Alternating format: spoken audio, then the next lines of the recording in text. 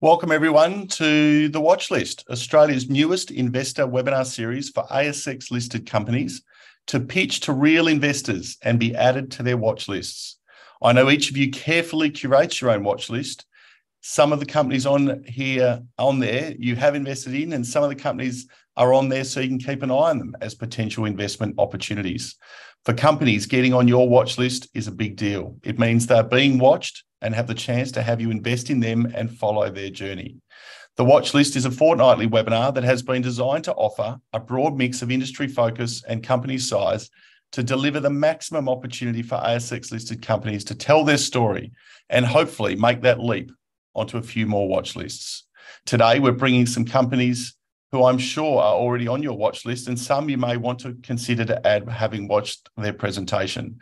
Presenting today are DMC Mining, Cazaly Resources, Fenix Resources, and Lithium Australia. Each company will present, then management will be on hand to answer any questions you may have. So make sure you have questions ready of management and submit them using the Q&A button at the bottom of your screen. Okay, let's get started. Our first presenter is David Sumich, Executive Chairman of DMC Mining Limited, ASX code DMM. As one of Western Australia's fastest growing junior exploration companies, DMC Mining is exploring the highly prolific Yilgarn Craton margin, which is regarded as highly prospective for world-class deposits, with a range of exciting projects underway and holding one of the largest tenement packages in the Fraser Range. David, over to you. Thanks, David. Uh, thanks, attendees, for your time. Um, very pleased to give this update for DMC Mining. Um, so by way of introduction, um, well, firstly, the important notice, I'll take that as read. Uh, we will be releasing this update to the ASX uh, platform today. So by way of introduction, DMC is a nickel sulfide explorer. We believe nickel will be a uh, long-term winner in the EV um, uh, EV uh, market and the revolution that is taking place. Um, nickel is can be interchanged with cobalt, of course, um, but nothing replaces nickel's energy density. So we think WA is an excellent location to be exploring. 100% of Australia's nickel comes from Western Australia. Um, and so in particular, nickel sulfide, and of course, there's the downstream opportunities should there be a discovery. Um, so we have the Ravensthorpe Nickel Project on the margins of the Yilgarn, and our strategy is uh, uh, to explore the margins of the Yilgarn. It's been very prolific in terms of discoveries.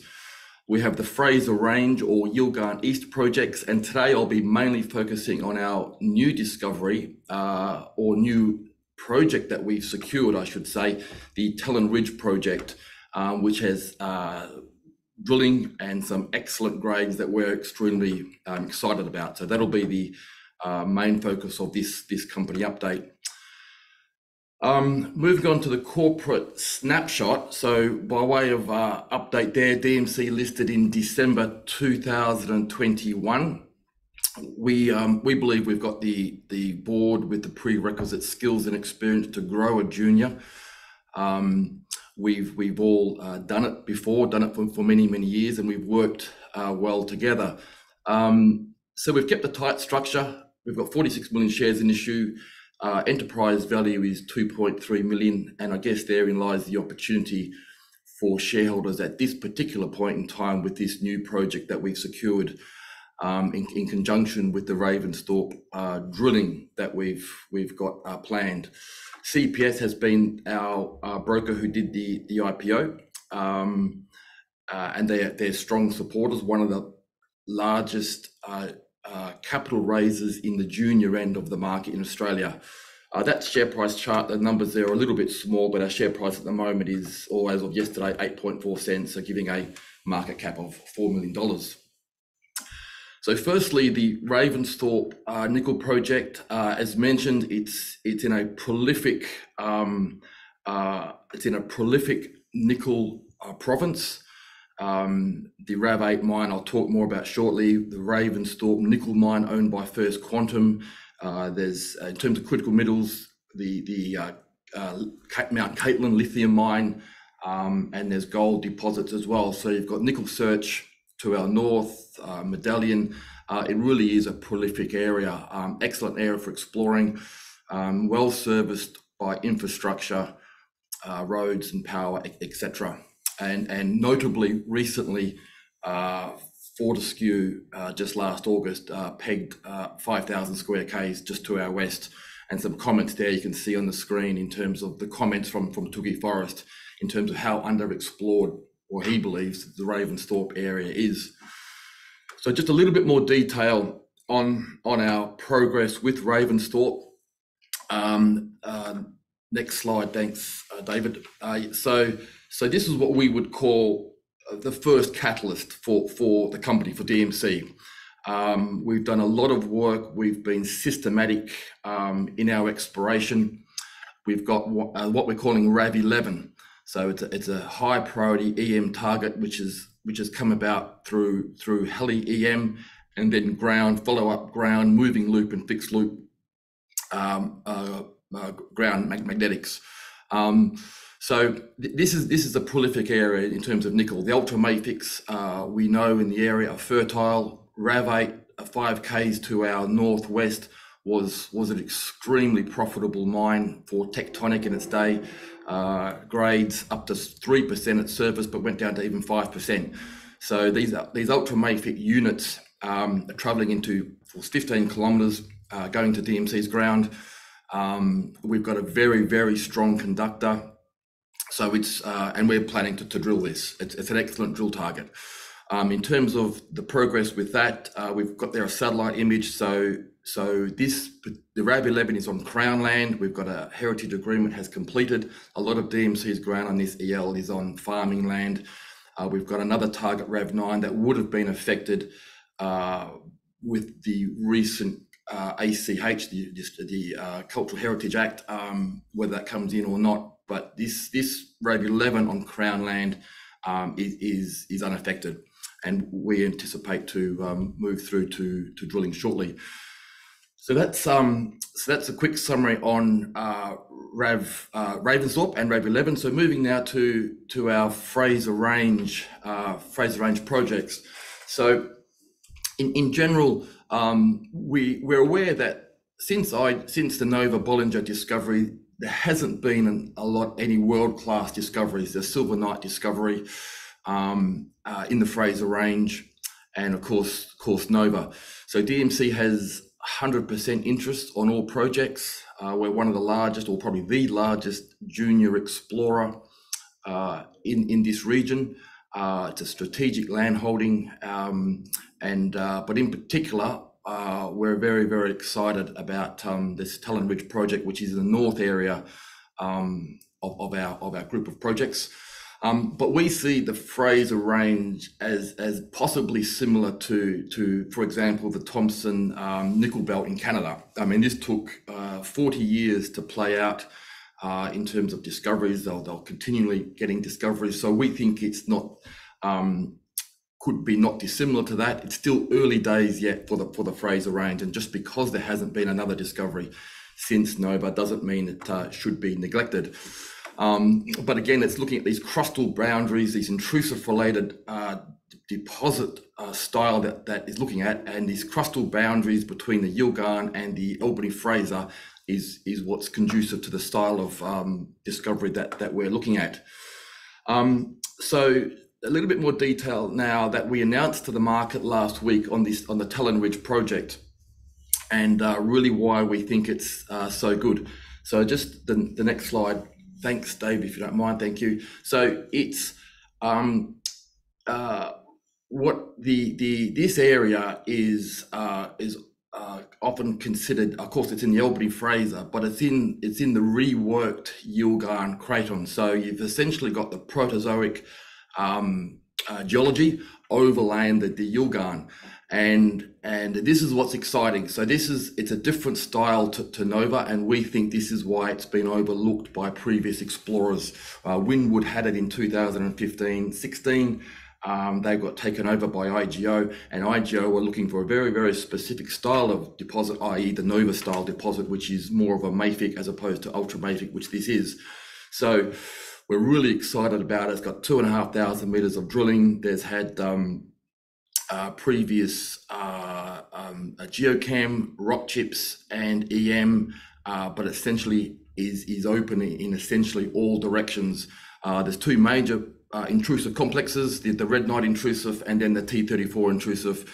Um, which uh, which essentially uh, exciting results to this point, but um, but but un- untested.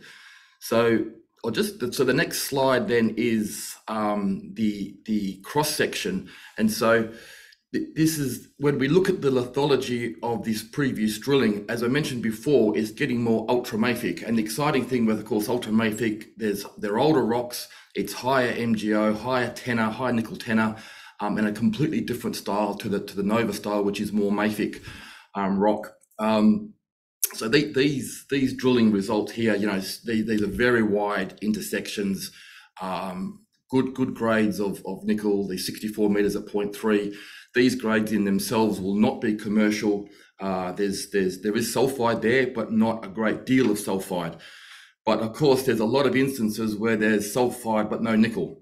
So this is uh, we, we, would expect the sulfide to be deeper, or typical of this this style of um, uh, this style of you know potential deposit.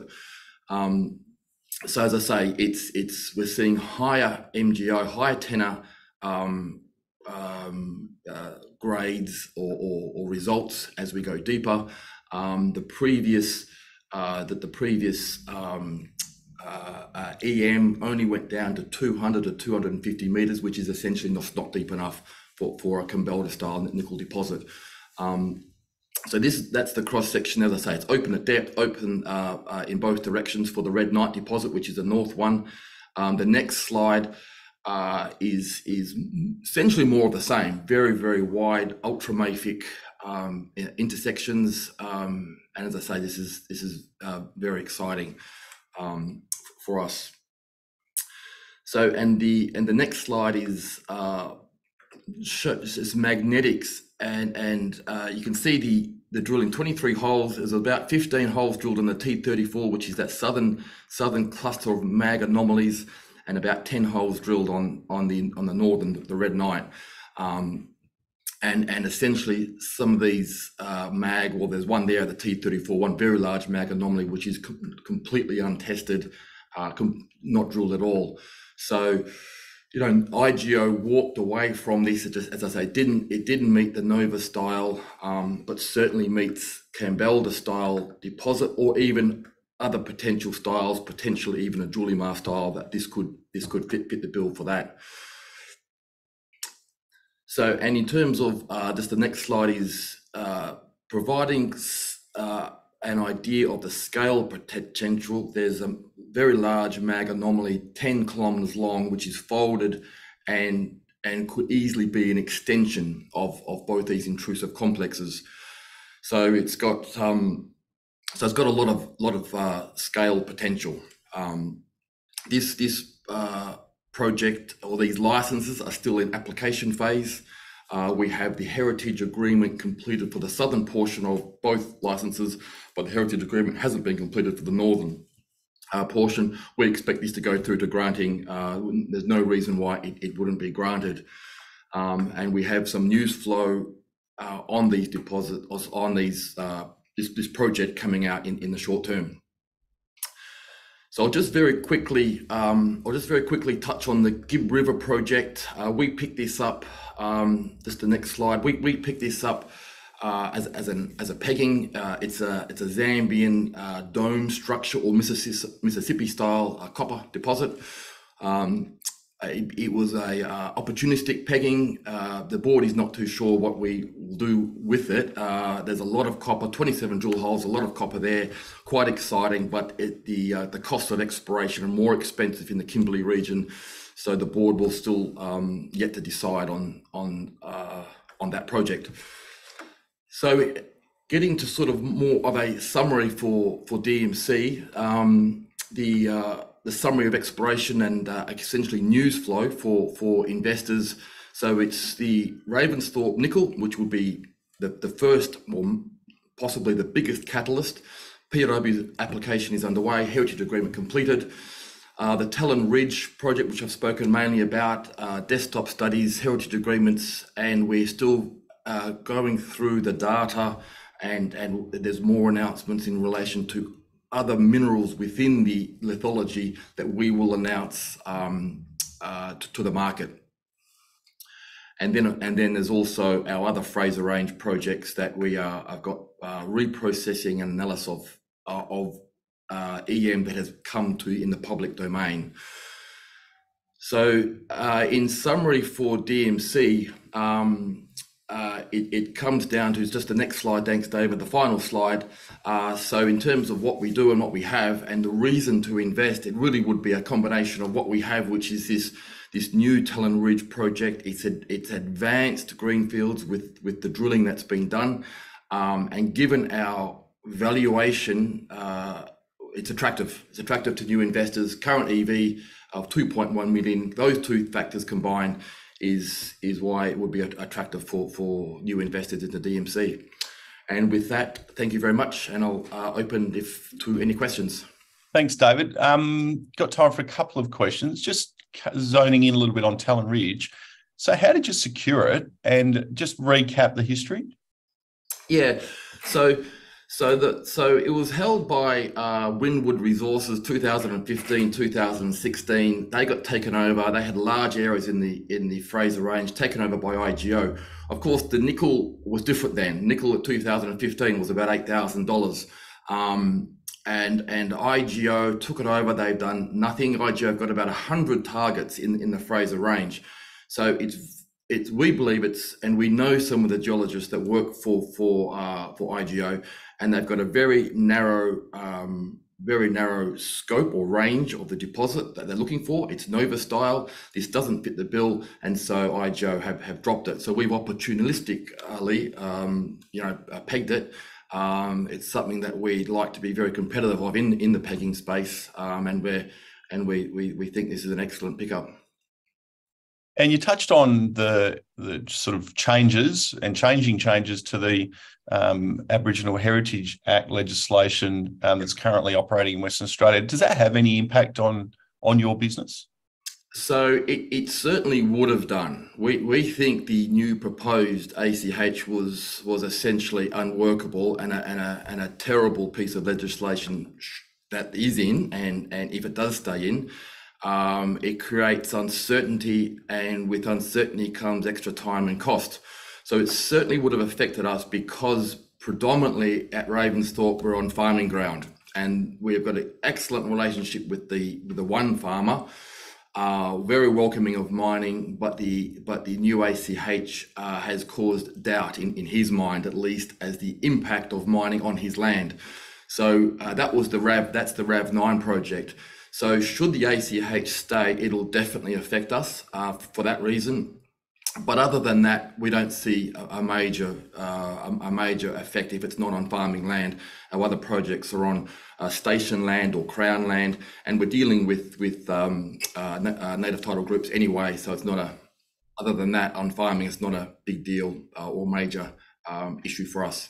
Well, I think that uncertainty is clearly um, being taken away uh, as it appears over over time in in, uh, in literally in the next few hours. So I think that uncertainty will dissipate quickly, which uh, for yourselves and others uh, and the other stakeholders in the industry, I think is is good news. Um, and hopefully provides a workable solution. So, David, thanks very much for your presentation, and we look forward to following uh, DMC Mining uh, with interest. Thank you. Thank you very much. Next up, we have Tara French, Managing Director of Cazaly Resources, ASX code CAZ. Cazaly is a Perth based Australian diversified mineral, mineral exploration and resource development company. It has a diverse portfolio of assets throughout Australia and more recently in Canada. To talk specifically about the recently announced Canadian acquisition, I'd now like to welcome Tara. Thanks, Tara. Thanks, David. Um, yeah, thanks for everyone attending today. Um, what I'd like to do is just run through a quick brief of Cazaly and who we are, and then focus on our latest exciting project, which is the Sundown Lithium Project. Um, and then I'll also touch base on a new acquisition that we've got in Australia as well. On next slide, thanks, David. Goes over that one, the usual disclaimer. People can read that at their leisure. Next slide, thanks.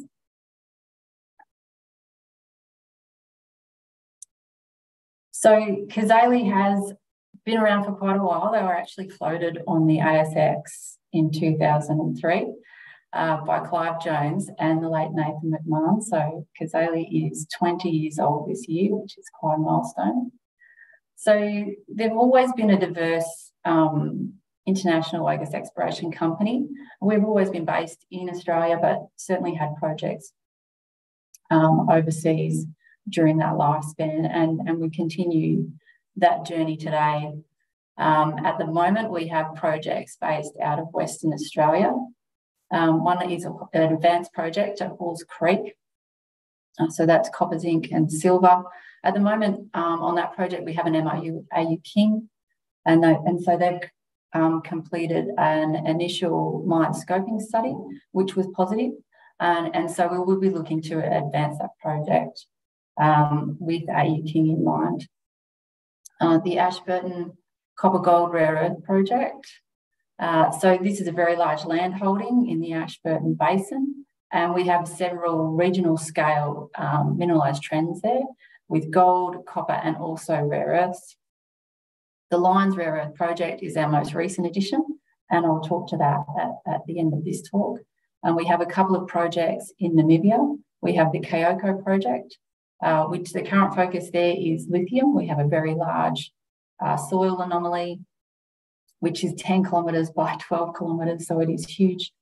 Uh, that pro- that um, project is under review at the moment um, and the, in the renewal phase. Uh, so once that, that licence has been renewed, then we can get back on the ground. The Abenab North project is in application. Now, this is a rare earth project. We know we have carbonatites there. We know that they're mineralised, um, and that project is in application. We expect that grant to be coming through soon, too, in the next few months. The application was actually submitted in November last year, uh, so it is a bit of a slow process um, in processing in Namibia of new applications, but nonetheless, there's no issues with that. We touch base uh, with um, our team on the ground over there in Namibia, and it has progressed through the system. So now it's just a matter of um, getting that official notification that it's gone through the process. Uh, and our projects in Canada. So we have another carbonatite project in Ontario, which is called Carb Lake. And uh, the one I'd like to talk to about talk to you about today is our latest uh, project, which is the Sundown Lithium project. And it's a pretty exciting place. So um, keen to get stuck into that. And if there's um, any other information you want on the other projects, please jump onto our, our website for more detail or, or contact me at any time. Uh, next slide, thanks.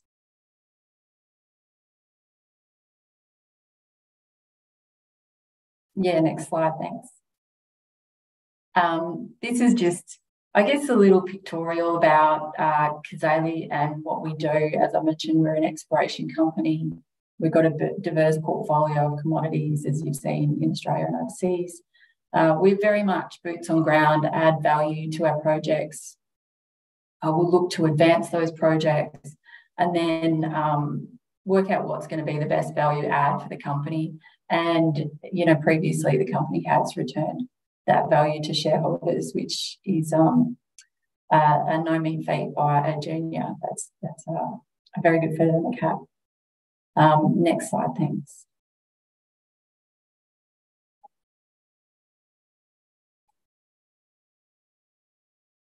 So just to our capital structure, um, another very good reason to invest in Cazaly. Uh, we have a big, good business model um, and also our share price is about three and a half cents. We have cash and investments to about $6.7 million, and our market cap is at about $12.8 million. So, in my mind, it's a great opportunity to invest in Cazaly. We have an early stage lithium project in Canada, which I'll tell you about now. And um, it's perfect opportunity to get in early. We've certainly seen a number of other companies have a good run on the back of new lithium discoveries. And so we certainly hope to be advancing this one as soon as we can. Next slide, thanks. There's our team, our board and management. So Clive Jones, founding founding director of Cazaly, is now the chairman. Um, he's got many successes under his belt. Just to name a few, Um, he was founder of Bannerman and also Galan, who uh, both have um, world class um, assets in battery mineral space. Um, myself, I've got about um, 6 million ounces of gold discovery under my belt. So um, we are certainly keen to progress the company, making new discoveries and new successes. We've also got a very strong technical team and with a lot of corporate experience as well on the board um, to move us forward.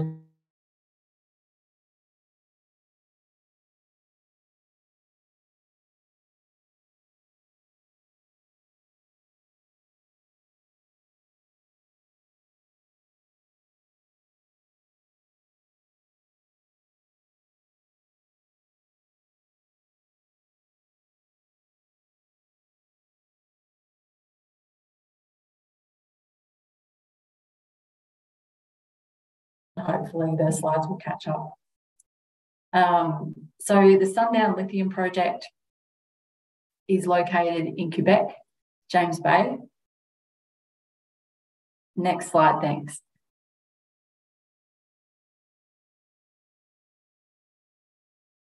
Okay, here we go. Um, so this is our Sundown Lithium project located in James Bay. This is a very large um, land holding, so we're quite pleased to, to have this in the portfolio now. So we secured 260 kilometres, square kilometres of land um, in a fantastic spot for exploration discoveries.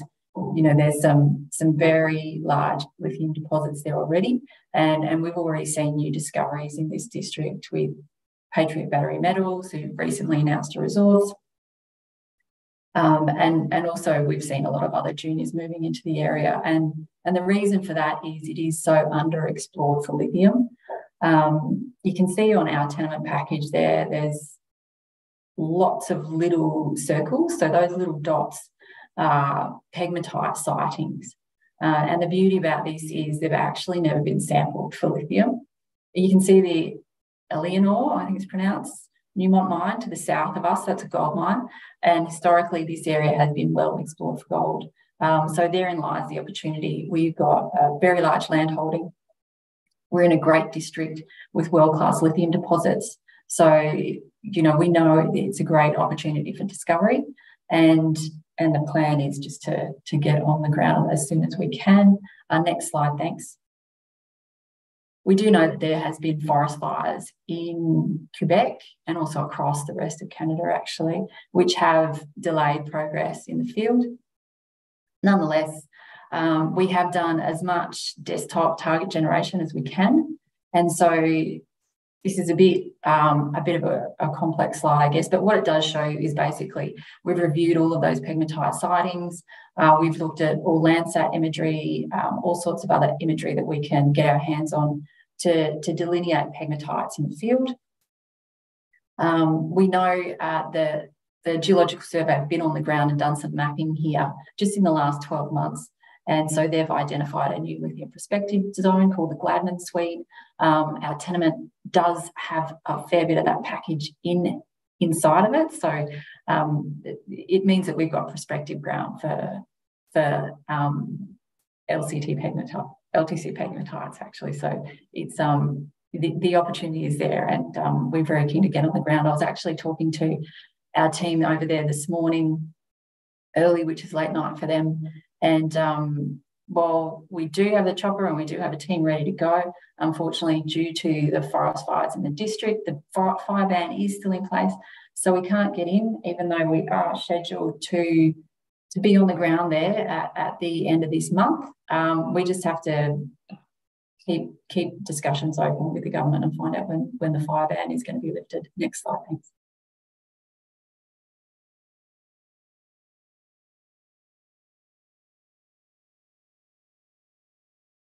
This is just a, a very brief timeline, of course, you know, subject to a number of things, one of which was fires and um, availability of rigs down the track as well. But basically, this month we completed a due diligence.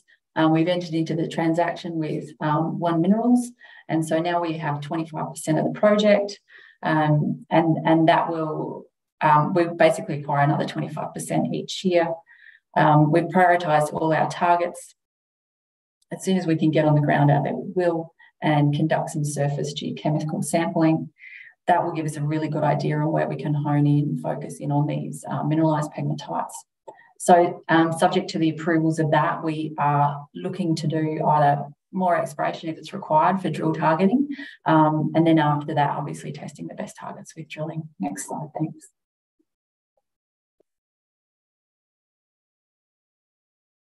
I'll go very briefly because I think I'm getting over time now. But um, just quite quickly, our Lyons uh, Rare Earth project. Next slide, thanks. So here we're in the Bangemall Basin.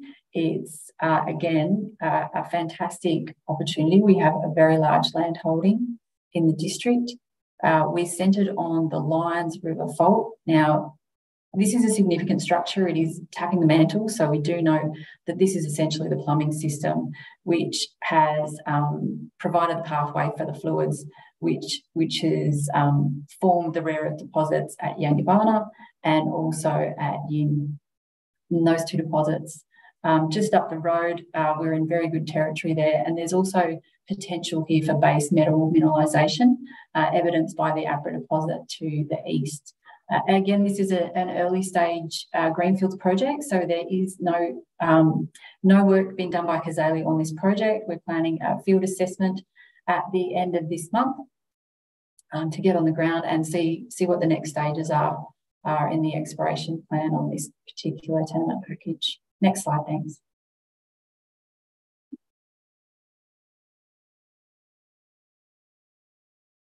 So just to wrap it up, um, I think Cazaly is a fantastic buying opportunity at three and a half cents. We have a huge lithium play at the moment that we're about to attack in James Bay, uh, which is, you know, full um, Canada's a tier one mining district, so it's an easy place to operate. We know we can get on the ground as soon as um, the fire bans are lifted.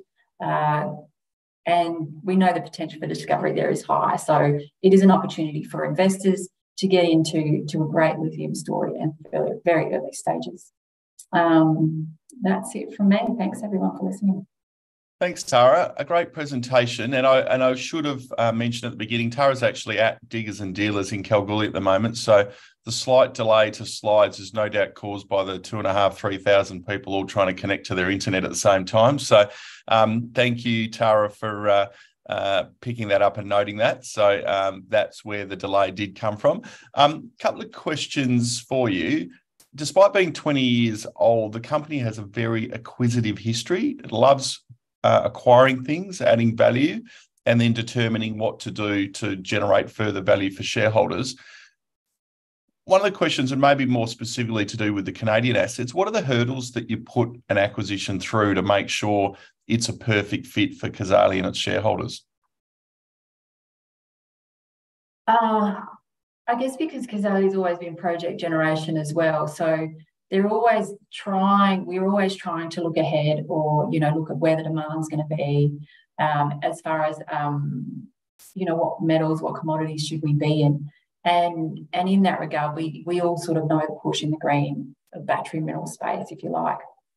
Um, so while we still very much like gold and copper, you know, long term, we still think they're they're very good assets to have in the portfolio, and so we still do. We also think that that battery metals do have a great future. We know there's a high demand there, uh, and so it makes sense for us to move into the lithium space um, and to secure a land holding of, the, of that size.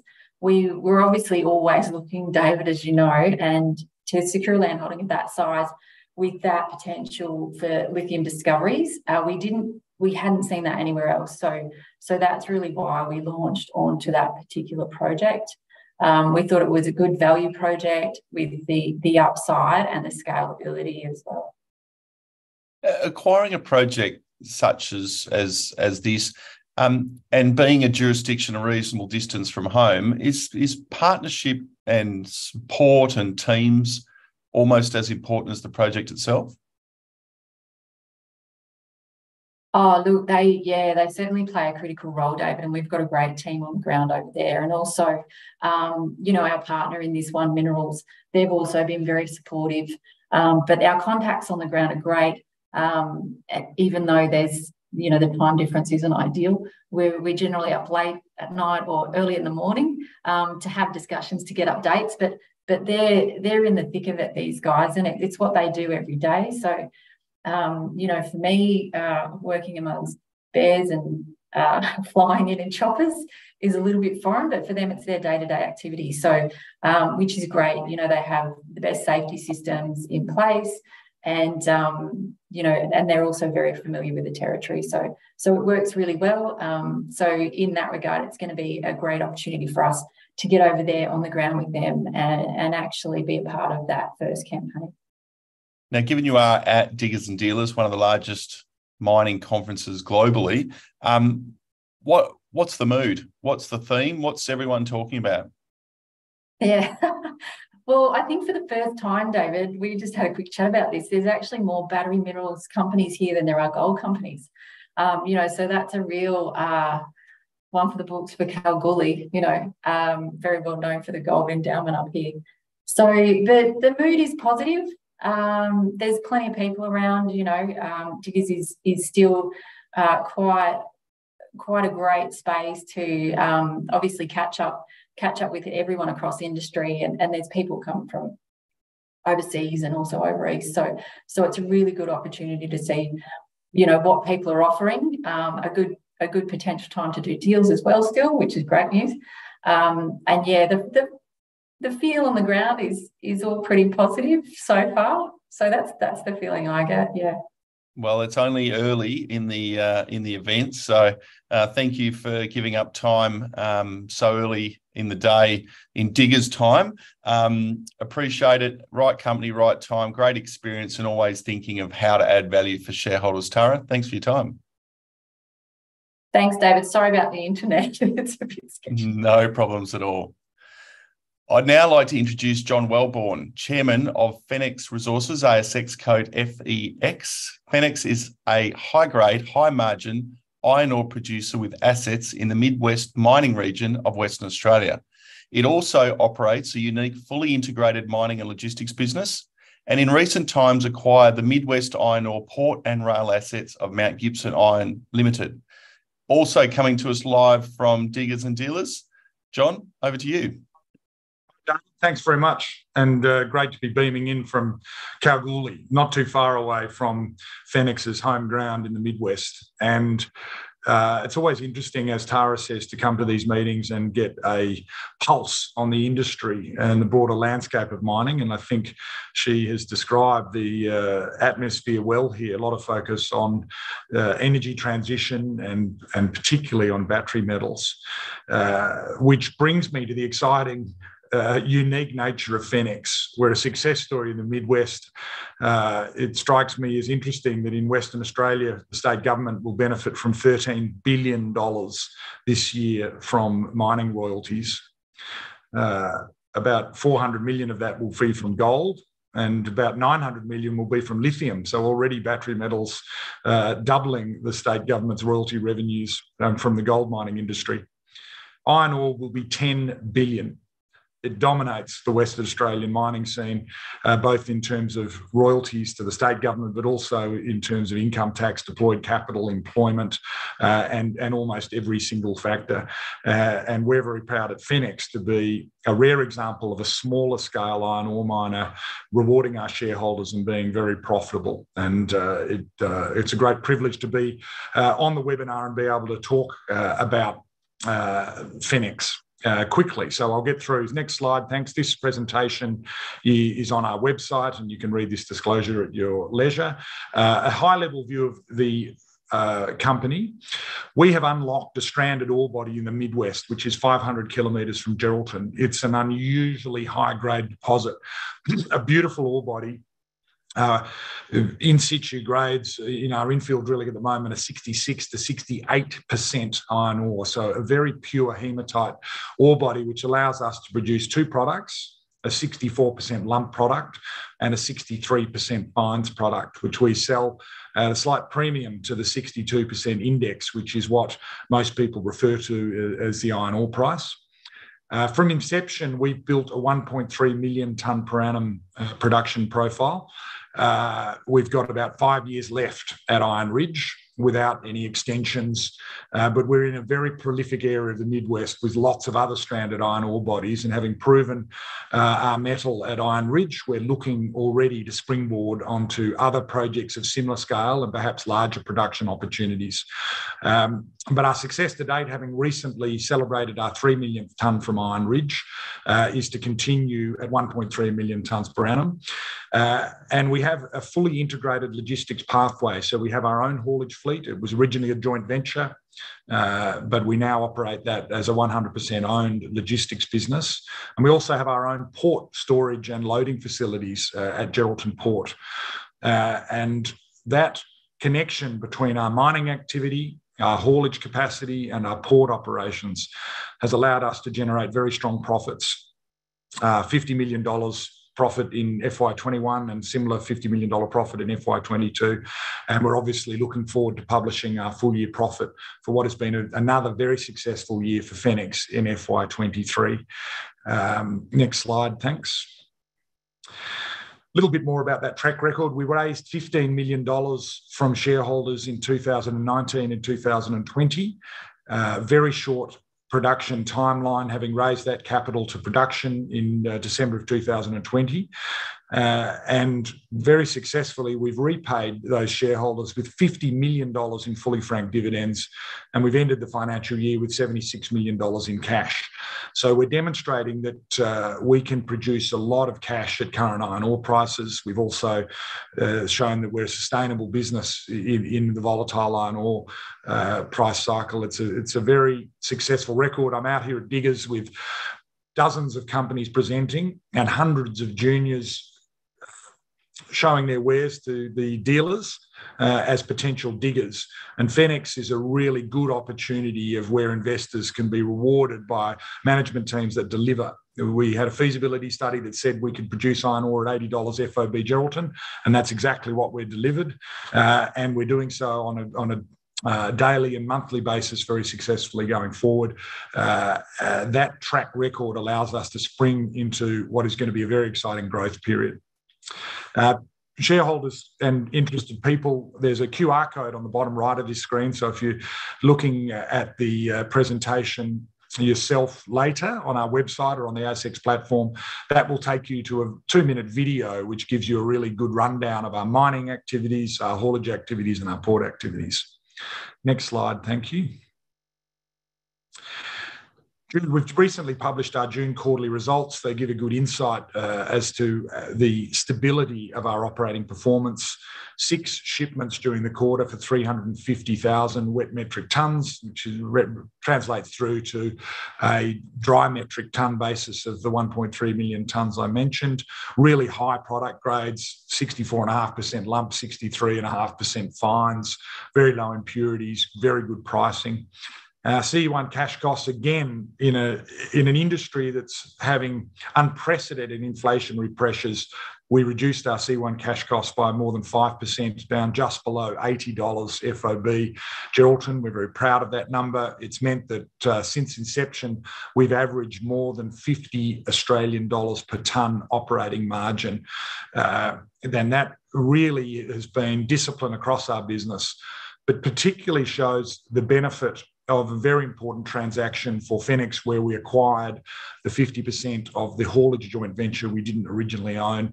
That has been an incredibly successful transaction, which is flowing through into lower costs and higher profits and huge reward for shareholders based on our existing business.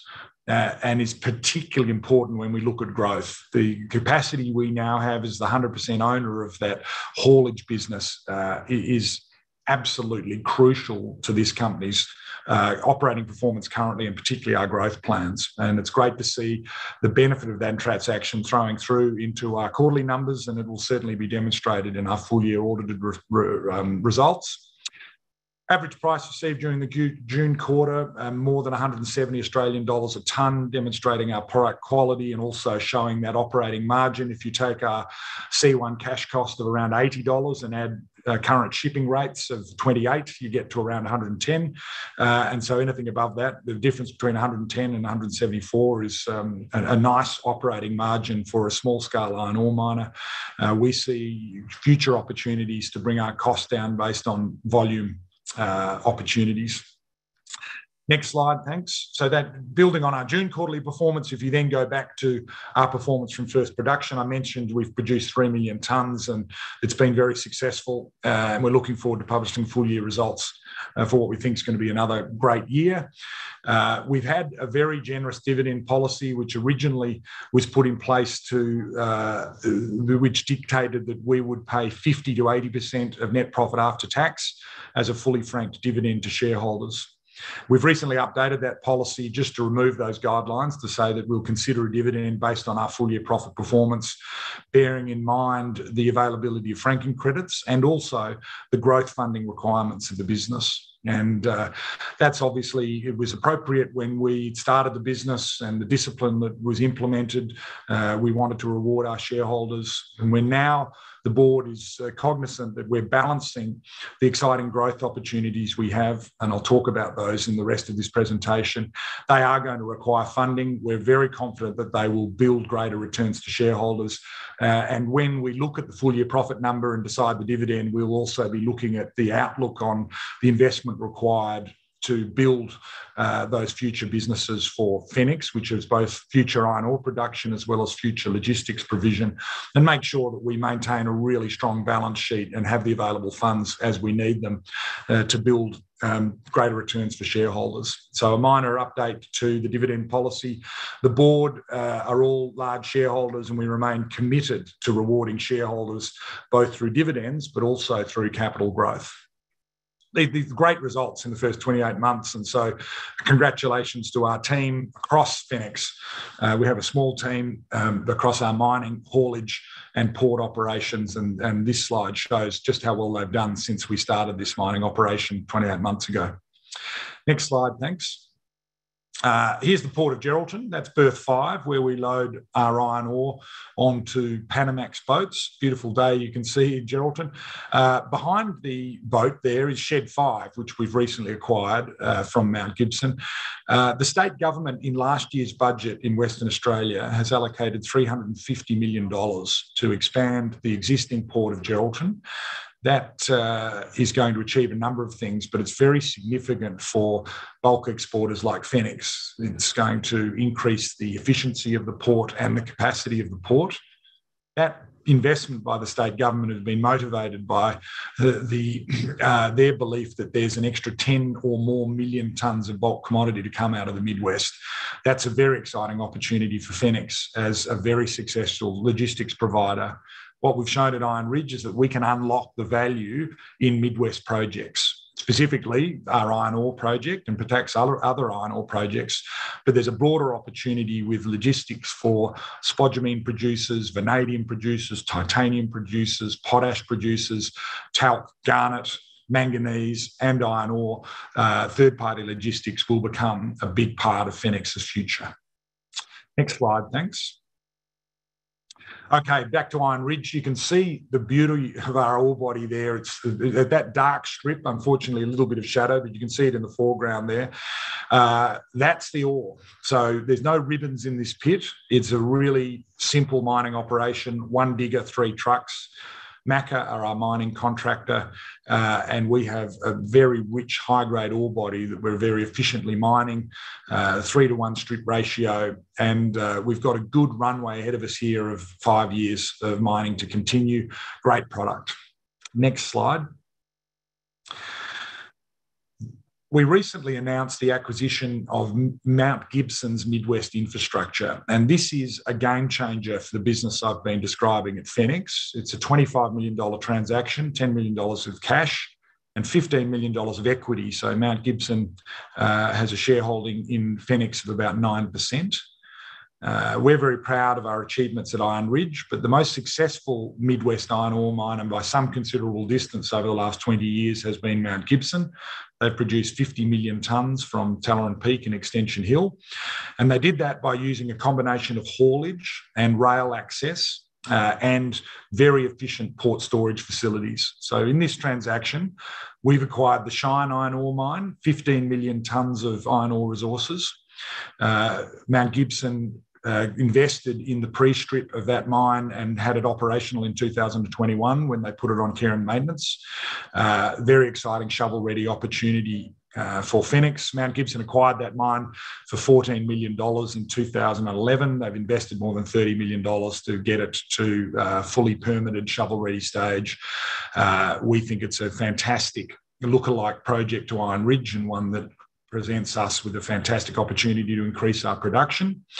We also acquired the two rail sidings that Mount Gibson had developed, one at Ruvidini, you can see on the map there, and one at Perenjori.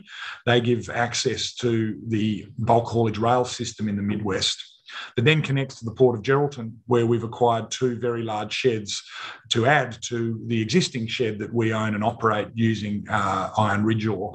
Um, the replacement value of those on wharf storage facilities at Geraldton is more than $80 million. So uh, you can see why we're very excited by this transaction. It's a very it's a good transaction for Mount Gibson. This was latent infrastructure uh, residual to their needs after closing their operations at Tallering Peak and Extension Hill. Um, but for Fenix, it's an absolute game changer. In, in very important rail access infrastructure, uh, a significant expansion of our iron ore resources and production opportunities, and a hugely competitive position at the Port of Geraldton, which we're looking to use for our expanded iron ore operations and for third party logistics. Next slide, thanks.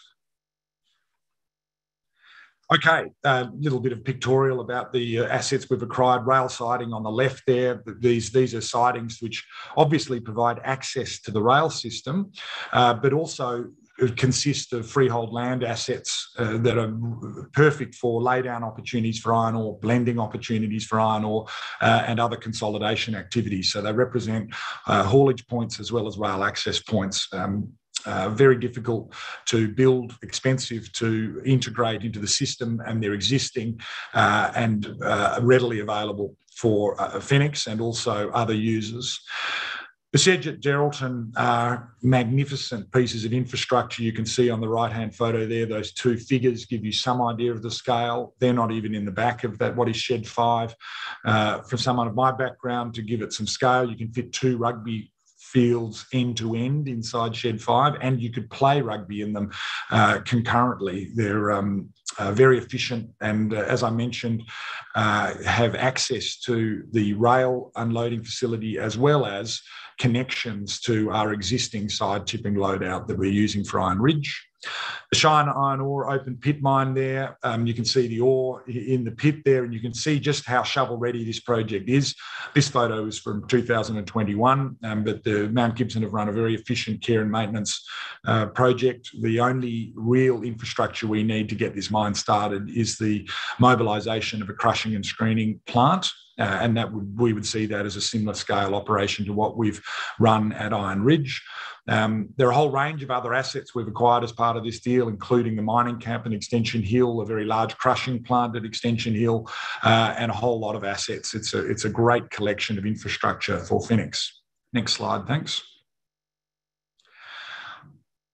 our ownership of uh, infrastructure mine to port very important. Uh, we have 30 prime movers and uh, Western Australian built and uh, proprietary system of quad haul road trains. They're very impressive bits of infrastructure. We carry 140 tonnes in what is a 200 tonne quad road train, 65 metres long. Uh, it's a state of the art business that deserves its own presentation, uh, but we are delivering best of industry haulage numbers. Uh, a rule of thumb in iron ore transport on road is try and beat 10 cents a tonne kilometre and you're doing well. We're currently beating six cents a tonne kilometre. It's a step change in the industry. You can see in this photograph just how um, well placed our shed infrastructure is. We've increased our capacity at the port by more than 400% with the acquisitions of Shed 4 and Shed 5. Uh, these are um, the infrastructure that we own on 25 year uh, lease arrangements with the Midwest Port Authority, and it provides us access to berth 4 and berth 5. Uh, and those sheds are connected to the rail system that I mentioned. So we're very excited about this infrastructure. Next slide, thanks. I'll run through some other details on Fenix. Um, these dots are projects that either have reserves or resources or in feasibility study change um, within haulage distance of Geraldton.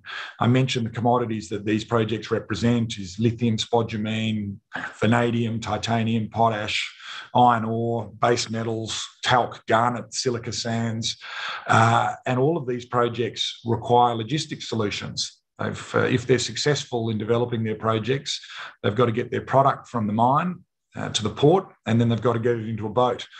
Uh, we're doing that very successfully from Iron Ridge, and we want to offer a comprehensive solution for all of these dots, uh, if and when they're ready. That we will pick up their material at the mine site and we'll deliver it to a boat, and we believe we can do that uh, at very good margins for Fenix at a price that is better than anything that they can achieve either themselves or from third party. And we're in discussions with a number of those parties. And so stay tuned for the next step of Fenix's growth and rewarding of shareholders is a, strong margin business by third party logistics based on our infrastructure. Next slide. Uh, we believe that our logistics solutions uh, is built on the strength of the Fenix Newhaul business. Uh, I mentioned earlier it's a state of the art business. It's also a good example of what Fenix does very well in partnerships. This was originally a joint venture um, with Craig Mitchell's Newhaul. Uh, we now own 100% of Fenix Newhaul, and Craig Mitchell is the largest shareholder in Fenix and uh, a key director of the company, along with myself and Garry Plowright. Next slide, thanks. I'll wind up pretty quickly here. We've got a great training facility at Geraldton. Um, the Kickstart Trading Academy is, is taking young Indigenous um, locals and teaching them how to drive these trucks in a state of the art simulator, the only kind in the world. Uh, and then we're making these um, youth program ready to get behind the wheel of a Fenix truck. Next slide. Uh, I'm very proud of our um, community partnerships with Clontarf and others in the Midwest, and particularly as the naming sponsor of the Fenix Buccaneers basketball side. Uh, delighted that they're in the NBL One Grand Final this weekend, Saturday night, playing the Joondalup Wolves. Uh, and so we wish the Fenix Buccaneers all the best for uh, another Fenix success. Next slide. We've obviously got high value products, clean steel. We've started a number of Indigenous businesses. The Wajarri Yamaji are our key partner. We mine in a very sensitive part of the world. And again, there's a whole separate presentation of just how successful that partnership is unlocking value for Fenix, but also value for the Wajarri Yamaji in terms of training, reward, uh, and royalties. Um, strategic pathway I've mentioned, we're going to continue to expand our own um, production opportunities. We're going to provide third party logistics and we're going to look for other uh, commodity exposure. Uh, quick summary corporately is on the next slide. We have a $200 million market cap. We've got $76 million in cash. Uh, we pay a nice dividend. We're 30 cents. We're primed for growth. I know we're not a lithium or battery metal producer, but if you listened here at Diggers and Dealers to the opening keynote speech, it, it continues a theme. Don't bet against China. Uh, battery metals all about wealth creation, emerging middle classes in the Asian economies. All of that is a derivative of steel production. We're going to continue to see strong margins for Fenix for our iron ore operations, and demand for base metals only leads to greater logistics opportunities in the Midwest. We're incredibly excited about that. We've demonstrated we're a successful company. Uh, we have a very low EV. If you want to invest in a company that makes money, that's real, that has people doing good business and building great partnerships, uh, and is primed for a significant growth, then get on board Fenix. Uh, always enjoy questions from shareholders uh, and look forward to yours, David. Thanks, John. A great presentation. And um, as you say, investors love companies that make money and grow uh, and uh, uh, have a clear strategy for that growth. And I just want to ask a question on that um, in regards to the acquisitions that you've made. Is Fenix a logistics company with an iron ore business, an iron ore business with a logistics company, and and how do you how does the third party logistics strategy unfold? When look, we're I think we're an iron ore miner with a logistics capability, uh, and uh, I, I, don't see any um, issue with understanding that business. The easiest, one of the easiest things we do, and we do it very well, is our iron ore mine. It's one digger and three trucks. We've got a great team out there, uh, led by Chris Tuckwell, former managing director of MACA Mining. Uh, and those guys have done a great job in managing our strip ratio and in uh, producing that really great product. But, but the real key to unlocking value from an iron ore body 500 kilometres from Geraldton is not hard to work out. It's logistics. Our largest cost component was always going to be haulage. It's more than two and a half times the cost of our mining activity. Uh, and then port access for iron ore developers and operators is crucial. So we're already a logistics company. The value we've unlocked from Fenix uh, hasn't been as much from our mining as it has been from managing the costs of our haulage and our port. So the ability to do that for ourselves is is quite simply translated to the ability to do it for other people. We have a distinct business unit that does both of those. So we have three business units: mining, headed by Chris Tuckwell. Haulage, headed by Craig Mitchell and Jamie South, and our port operations, uh, headed up by Adrian Third and, and managed by Jamie Jones in Geraldton. Uh, now, all of those three of those at the moment, the haulage and the port guys are really contractors for our mining guys. And so, whether they were working to haul iron ore from uh, Iron Ridge or you know, another bulk commodity, let's call it lithium spodumene from another customer, uh, that's really an ind- a separate business unit. It's easy to see us providing those services for others. Uh, and to answer your question, I, I think we're a miner uh, with logistics capability, and we want to make uh, rewards for our shareholders across all three of those business units. A, uh, a distinct strategic advantage, having, as you say, three distinct business units that all operate in unison and can provide a lot of opportunity for shareholders and also the company in its own haulage operations. So, John, we're out of time, but a great presentation. clearly, a company uh, that sits on a lot of people's watch list based on the number of people watching today, but also focused on profits, focused on growth, focused on dividends. We love to see it, and shareholders will love to see it also. So, John, thanks for your time. Thanks very much, David. Last but by no means least, I'd like to introduce Stuart Tarrant, CFO of Lithium Australia, ASX code LIT. Yesterday, the company definitely lit up the market, pun intended, announcing the signing of a joint development agreement with major ASX listed mining company Mineral Resources, stock up over 55% on the news and up again today. Stuart, we look forward to hearing more about it. Over to you. Thanks, David. Uh, really pleased to be able to provide an update today. Um, so a bit of a different slide pack to what you've just seen. We uh, we've now exited the, the mining business, but uh, really happy to take you through some of the progress we've made. Uh, next slide, please. So where do we play? We play in the battery uh, materials industry now. This uh, this industry is going to grow significantly uh, over the next you know 10, 20 years, and it's growing as we speak. Um, you know, we've got some really, really critical technologies which we're looking to develop uh, over the next uh, few years. Um, and yeah, there's, there's this uh, supply chain shift that we've seen. I know uh, John just mentioned around uh, China being a demand for, for battery materials, and that's absolutely spot on.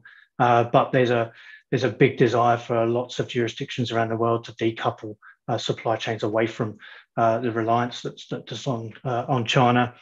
And, and probably the biggest thing, and, and we'll cover some of this as we go through, the slides is, yeah, we, have identified that partners are a critical part of uh, our development path. Uh, next slide.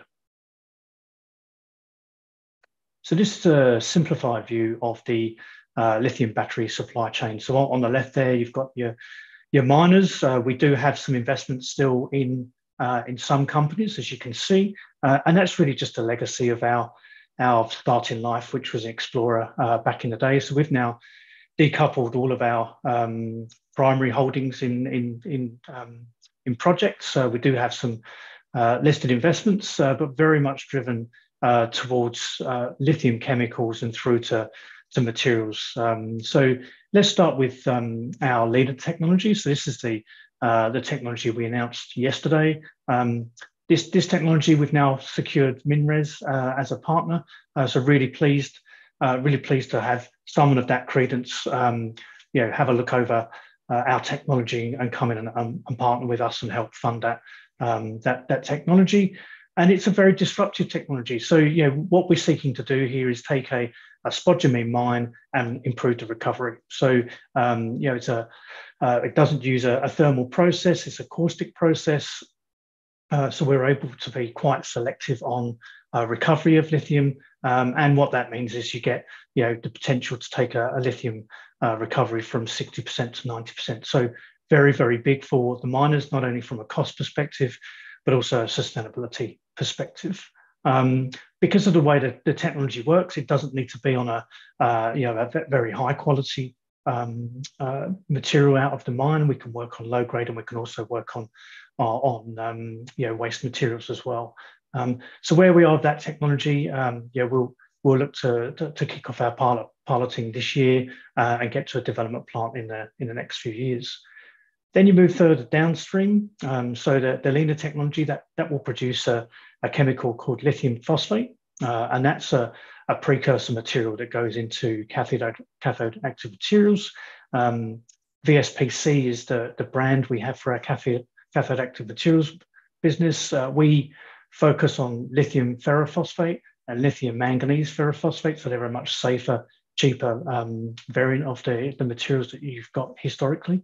Um, we've been doing this a long time. So, um, you know, getting into 20 years now of developing nanotechnology, um, but absolutely taking that next step in the next 12 months to increase our, uh, our capacity um, from our one to two tons a year over in, um, uh, over in Brisbane. We don't play in down in the cell manufacturing and the and the EV space. Um, you know, we observed that there's a very high capital cost, and I think you know the the technology does take a long time to to get right in those areas. So we we're definitely partnering with those um, uh, those industries, but we're not going to uh, move into that space. Um, but we do work in the recycling. So when a lithium ion battery is at the end of its life, or as we've seen over the last few years, they um, they become available due to a recall. Um, then yeah, we have volumes of, of batteries to recycle.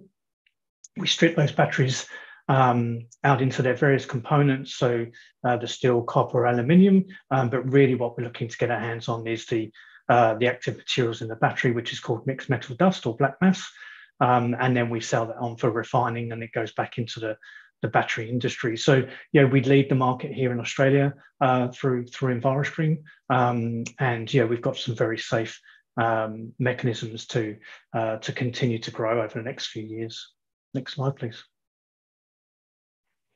So where are we in the industry? Um, we're in a we're in a market that's just going gangbusters at the moment. To be to be quite frank, um, you know, the, outlooks um, for any demand uh, seem to be uh, increasing for as you go through one quarter to the next quarter. Um, there is a shift in, in chemistry. So the, the second slide, um, uh, second graph, sorry, to the left, um, which shows uh, NMC, LFP, NCA, um, you can see that uh, the share of lithium ferrophosphate cathode materials will, will increase uh, between now and 2030. We're already seeing that coming, and we are also developing the next the next phase of lithium ferrophosphate uh, powders, which is lithium manganese ferrophosphate cathode powders. Um, and then on the uh, you know the right right hand side, you see you know where we've got quite a small operation for recycling at this point in time. Um, you know, by the time you get to 2030, 2040, the volumes in, in Australia are going to be very significant.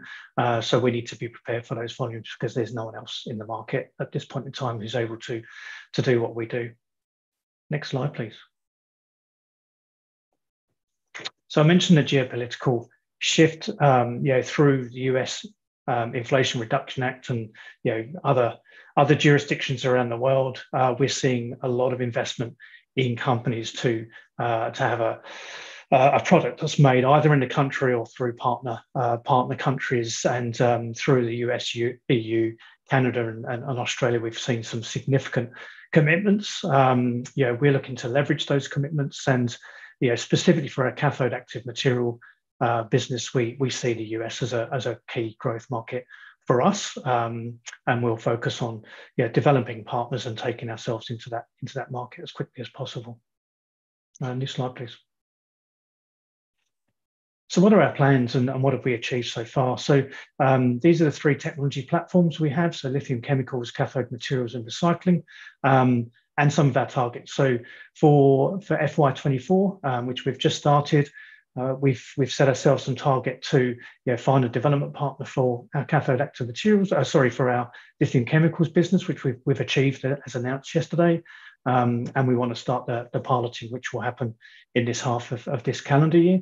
Um, for our cathode active materials, uh, very much a case of uh, building our partners either from a an offtake or raw material perspective, but also uh, getting to a point where we can build a, a larger facility and then for our, our recycling business is very much about uh, improving the, the operational um, effectiveness of that, of that business, getting through to cash flow positive. And then once we've got it to that position, then we'll start to grow nationally and internationally. Um, and then within uh, Lithium Australia as a group. So um, I think we acknowledge um, that we we need to be prepared for for quite significant growth over the next few years, and so we're putting the foundations in um, over this year to ensure that when we grow, uh, we can grow sustainably. Um, over the next few years, so where we where we see, you know, say uh, two to three years time, I think we'll have a demonstration plant um, for our lithium chemicals technology. We would hope that um, Mineral Resources would, would um, fund that and have that on their own uh, facility, and we'd just license the technology through to it. Uh, from a offtake perspective, uh, we'll would have secured our offtake, uh, and then we'll be in a position where we'll we'll build a demonstration plant. Uh, and then for for EnviroStream, we're seeing yeah significant increases in volumes already. Uh, so yeah, just to give an example, last year we received 1.1 uh, or 1,100 tons of of, um, of batteries uh, into EnviroStream in, in FY22, and if uh, FY23 it's approximately 15. 1500 tons. So we are seeing you know, significant growth year on year, and the, the mix of those batteries is shifting towards uh, lithium ion batteries as well, which is which is useful. Next slide, please. So I mentioned about our, our partnerships. So very key for us to to make sure we've got the right partners to grow our business. I've spent a bit of time going through uh, the deal we did with Mineral Resources, which we've we've announced yesterday. So um, we've got a a joint development agreement with Mineral Resources. They'll provide four and a half million dollars through a convertible note um, to get through piloting and a uh, an engineering study for for our LieNA technology. Uh, we'll put in our uh, our IP effectively and our, our know-how into that into that joint venture to the extent that um, uh, the the results are, are, positive, which there's no reason why we can't see it. There's not. Um, then we would look to license that um, that technology out to, to a number of different operators and and juniors, for that matter, around the world. Uh, clearly, uh, when you can take a, a, recovery of lithium from 60 to 90 percent, it's it's very very positive, and yeah, that's one of the reasons why we've been able to secure uh, such a significant partner like Mineral Resources, um, they've been very open with us around uh, the the scope of the technology, um, and yeah, very very keen to see them deploy the technology on their operations and and uh, you know outside of, of their operations. Um, in terms of cathode active materials, so one of our partners uh, is Novonix. Uh, they did some test work on our product earlier on this year, and uh, you know tested our product against some of the key products in the world, um, and it stacks up very well. The the cathode active material from from our operations. Um, uh, in addition to to Novonix, we're also working with uh, cell manufacturers, uh, so gigafactories, effectively around around the world, um, to come up with some commercial arrangements there, either from offtake or development perspective. And it's actually one of the reasons why Simon Linge our new CEO uh, is unable to make today's call. Um, so he's he's up in Korea at the moment, just having some of those early conversations with uh, with parties over there. And then the battery recycling business. I mean, clearly we've got a national footprint, so doing that on our own, with being such a small company, is, is quite challenging. So to have the the network of a Bunnings or Officeworks um, is is very important for us. Um, yeah, we don't just deal in the in the small handheld batteries. We also deal in the large format batteries, and that's where we want to move to. Uh, we're seeing significantly more batteries coming in through um, the EVs and energy storage systems, and yeah, we uh, we have a partner in um, LG Energy Solution who um, uh, gave us a quite a large volume of uh, energy storage systems uh, over the last 12 months. Next slide, please. And here's just a summary of of us. So, know, clearly the result yesterday um, was received positively by the market, um, but you know, we don't need to go out and raise money. Uh, we've got a strong balance sheet, as you can see there on the left hand side, um, strong cash position, strong listed investment uh, position, um, three technologies which you know, we believe are, have a significant role to play in the, in the lithium ion battery supply chain in the, in the next 5, 10, 15, 20 years. Um, and for now, it's really just about taking those technologies forward.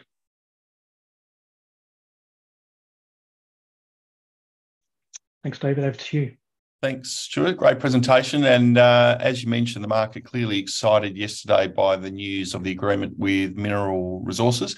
Um, just to sort of step back a little bit, um, what's the process that you went through in terms of finding a partner for LieNA and and the time and the due diligence and the things that you had to go through to to get to an, a, a stage of making an announcement and make a sort of formalizing an agreement to then move forward?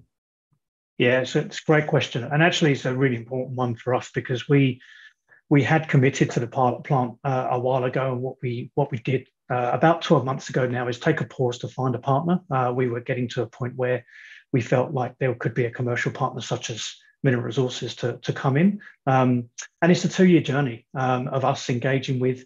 Uh, with the technical teams, uh, ensuring that they're comfortable, making sure they've done their test work. Um, yeah, we've run um, mineral resources uh, materials through um, uh, on a lab on a bench scale, sorry, um, all the way through to a lithium ferrophosphate cathode lab actually. So yeah, we've got some pretty smart technologies that can interface. Um, so yeah, when we were able to prove to Mineral Resources what the recovery is, potential recovery of um, their their um, lithium through uh, through its technology, and and we're not just producing a spodumene concentrate as well. I think it's important to to realise that you know for, from a miner you get you know an increase in recovery if you mine, but you also move downstream. So we're producing a lithium chemical, not a spod concentrate. Um, so they're they're already moving down the supply chain, uh, which is yeah very important for someone like MinRes. Um, but yeah, throughout all the engagement, very positive, uh, very open. Um, I think they they acknowledge that um, you know the piloting is a is an important step for us. Um, so and that's why they've funded uh, all of the piloting and provided material available to to complete the test work. And just on the next steps, I know you did touch on it, but to reiterate, what are the next steps? What are the what are the milestones shareholders and, and potential shareholders should be looking at to as as the milestones to to follow? Yeah, so so first of all, will be um, getting the piloting up and away. So we expect to have that uh, starting um, this year. So we're just working with ANSTO at this point in time to find a, a, slot available for them to, to execute the work. So that's where all of our test work has happened in the past. Once the piloting's finished, uh, very much through to a point where we can continue to um, uh, look towards a demonstration plant. So we'll, we'll um, commence an engineering study for for the technology, which will inform um, MinRes as to the, the size and scope of, of that material, of that equipment, sorry, um, to enable hopefully them to uh, to develop that plant on their sites and um, and you know, truly demonstrate the commercial uh, ability of the of the, uh, of the technology. After that, it's very much a case of licensing the technology out to mineral resources, uh, but also to, to third parties as well. So there's no limit on who this technology could go to, um, but at this point in time, given our technology readiness, it's not possible to uh, to license the technology. And you touched on in your presentation a number of of your your sort of key um, parts of the business are at or nearing partnering stage, which you know the the MinRes deal is clearly one key milestone in that regard in relation to LieNA. But how advanced are partnering discussions across the other parts of the business? Obviously, um, nothing's been disclosed, so you can't talk too deeply into them. But you know, are you, are you, seeing the the crescendo, if you like, of partner discussions starting to to reach or be reached? Yeah, we are. I think, um, yeah, we we've definitely seen an uptick, and, and look, I think, yeah, we've had a a new CEO, Simon Linge, come in in January. Um, he's given the organisation a sense of purpose. And so we, uh, we've we've managed to um, get rid of a little bit of noise that we may have had as an organisation in the past and get us focused on the things that matter most, and that's partnerships ultimately for these technologies. So um, yes, I, think if you look at uh, the um, the recycling business, you know, we're, we're in discussions with uh, major EV manufacturers um, for for agreements to secure their their end of life batteries. Um, we don't expect huge volumes from those, but what we're trying to do is secure secure those volumes as they grow into the future, David, so that you know we're able to uh, plan for what those volumes might be and then gear up uh, or scale up, as, as Simon would say.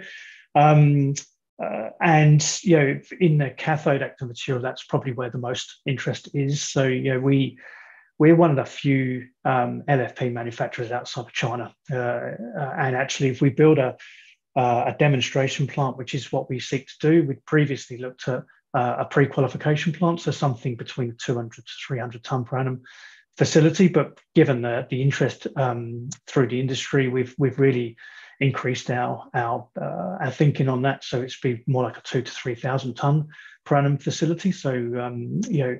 Uh, when we get to that point um, of talking about a larger facility, people uh, are much more interested in offtake and um, you know co-development opportunities. So there's a number of things that we uh, are trying to pursue at this point in time, but nothing's definitive. Um, you know, so this will just be updated as as things come to uh, come to come to completion. Yeah, just touching on LFP, uh, a fellow ASX listed company, much bigger, clearly, being Pilbara Minerals, have spoken about their interest in LFP as well. Do you see that as a sign of greater competition or a greater maturity in this market?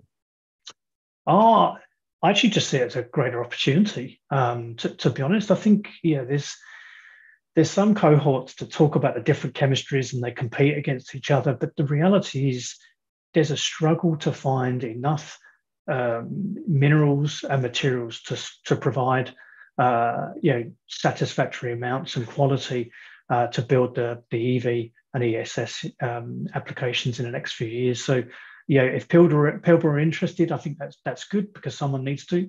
We believe it's a great chemistry because it's a lot safer, uh, and as I said, it's, it's, cheaper. We've got our own proprietary process, so we're able to uh, produce this without coming across anyone else's IP.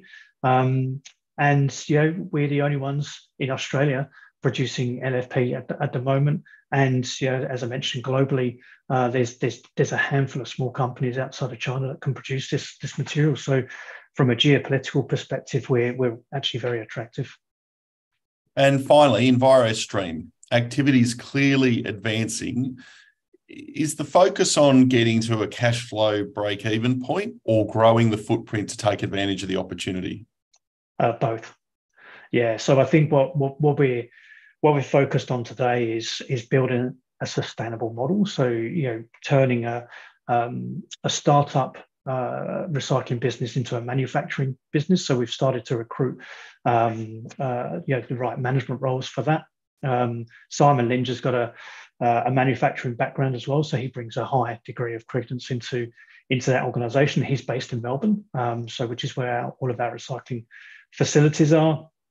Um, so yeah, we'll look to improve our commercial uh, outcomes, increase our um, operational efficiencies, which will lower our costs, that'll get us to a cash flow positive, and then we'll look to grow, uh, you know, nationally and, and also internationally. So, you know, as part of our our conversations, uh, invariably, someone that's looking at cathode materials might also be looking at uh, end of life solutions as well, because if they're cell manufacturers, um, then you know they've, they've, they they like to begin with a battery make, but also um, what happens at the end of end of life a diverse portfolio, but clearly linked to the battery metals space and the EV revolution. Clear strategy, partnerships dropping into place. Exciting times ahead for Lithium Australia and its shareholders. Stuart, thanks for your time. Yeah, thank you very much. Cheers. As I said in my introduction, the purpose of this webinar series is to give you the opportunity to engage directly with companies that are on your watch list and to give you ideas of companies you might want to potentially add to your watch list so you can follow them in the future. So look at your watch list. Let us know if there are any companies on there you want to hear from, or let us know about companies you've been thinking about adding to your watch list, and we'll get them to present to you in the future. Thank you to the presenters for making the time to present and for you and to you, sorry, for watching. We'll see you again in two weeks' time. Have a great day.